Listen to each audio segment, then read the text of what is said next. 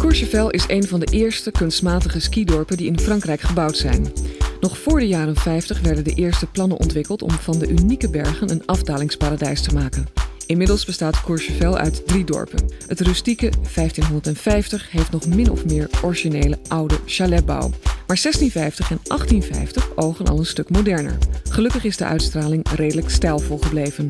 Courchevel 1850 kenmerkt zich door een goed gefortuneerde cliëntele. Je vindt er een aantal hotels in de allerduurste prijsklasse en regelmatig kom je op straat bontjassen tegen. Niet voor niets heeft Courchevel een eigen vliegveldje om met privévliegtuigen te kunnen landen.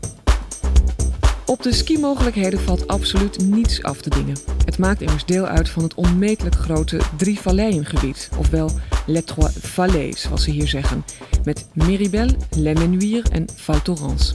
Men fluistert dat het niet minder dan 600 kilometer piste heeft. In ieder geval kun je er lange dagtochten maken zonder dat je een piste ooit twee keer hoeft te doen.